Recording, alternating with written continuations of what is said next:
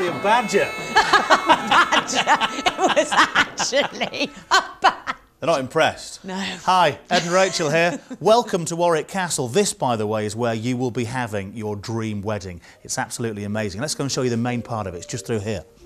Every wedding needs a massive party, a huge reception. So the first thing we're going to show you is the bit you're going to be partying hard in. Although that doesn't really seem the right terminology, does it? Partying hard, medieval style.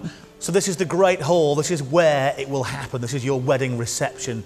It's just superb, isn't it? We'll move these, by the way. We won't leave these here. They'll be in the room. They'll be to one side, though. Uh, so basically, I have, a, have a lot of space. The tables will be here where all your guests will dine.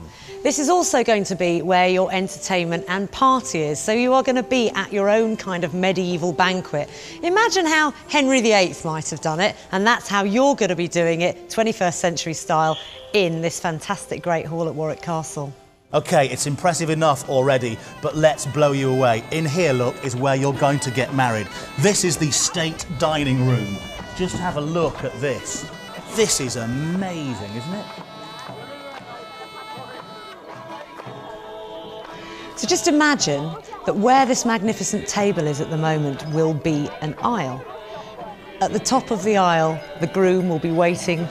Nervously yeah, for the beautiful, beautiful bride to walk into this amazing room. Friends and family either side, all your guests so excited, so honoured to be here at your special day and in this very special venue. Now, we can't promise that the Queen will turn up, but she has dined here before, as has Bill Clinton. It's a piece of history as well because as yet, no wedding has ever taken place in this room. Yours will be the very first. So, your wedding day is the most important day of your life, and you're going to want to remember it forever with the power of photography. So, I know you want to know where are the all important photos going to be taken. We can tell you your photos will be the best wedding photos ever taken. Let's go and have a look. And this is where your photographs are going to be taken. The champagne, by the way, that's the important bit. The champagne happens up here. This is the champagne reception. It's always hard to walk upstairs sideways, isn't it? this is the gorgeous conservatory, so imagine the sun shining and you and your guests here with nice, elegant glass of champagne. So, while we go and find ourselves an elegant glass of hmm. champagne, why don't you just do some arty shots or Yeah. something? Get the peacocks.